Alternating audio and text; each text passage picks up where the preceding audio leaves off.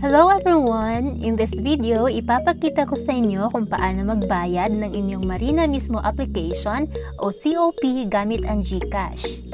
Hindi mo na kailangan magbayad para assist o pumunta sa mga bayad centers.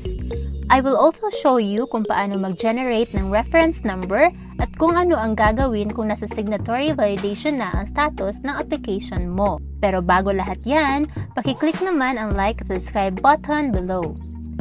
Note, pag gusto mo magbayad gamit ang GCash, siguraduhin niyo po na may GCash balance kayo na at least 180 pesos. Unang kailangan mong gawin ay mag-set ng schedule for your final evaluation sa mismo account mo. After mo mag-set ng appointment schedule, ganito ang makikita sa iyong application. Much better na screenshot mo to o huwag mong kalimutan ang date na sinet mo. In our experience kasi, we set the schedule to August 1 at biglang nabago ito automatically to July 19. Hindi namin alam kung anong nangyari. Pero, naging available po yung reference number sa original date na sinet namin, which is August 1. Pagkatapos, kailangan mong maghintay kung kailan ang appointment date na sinet mo.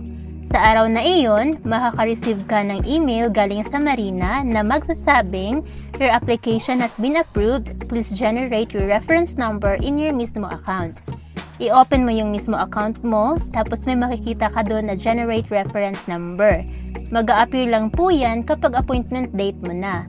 At ang status ay magiging for payment initiation na. I-click mo lang yung generate reference number at may magpa-pop up na confirmation na are you sure you want to pay this transaction?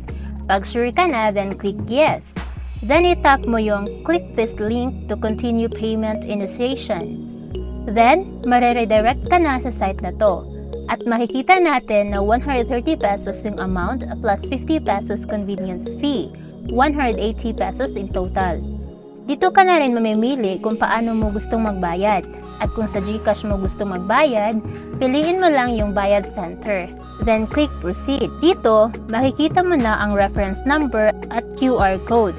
Notice also yung validity ng reference number kung hanggang kailan lang yan pwede gamitin.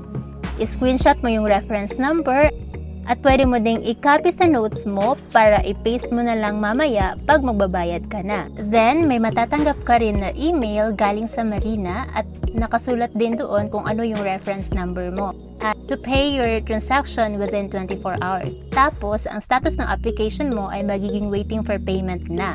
Ngayon na may reference number ka na, pwede ka na magbayad. I-open mo lang yung GCash app mo, then click Bills, tapos, piliin mo yung government at isearch mo yung marina. Piliin mo yung marina lang ang nakasulat. Tapos, i-enter mo yung amount, 180 pesos, reference number, pwede mo i-copy-paste kung nag-save ka sa notes mo, contact number, at email optional. Naglagay ako ng email to make sure na makaka-receive ako ng confirmation email sa Marina na na-receive na nila yung payment ko. Then, click Next and Confirm. I-save or screenshot mo yung receipt mo. Then, bumalik ka sa mismo account mo at i-upload mo yung receipt. Nag-auto-validate naman ang GCash pero nag-upload pa rin ako ng receipt to be sure. Ang status ay magiging for signatory validation na. Ang kailangan mo na lang gawin ay hintayin ng email ng Marina na pwede mo na ma-view ang certificate.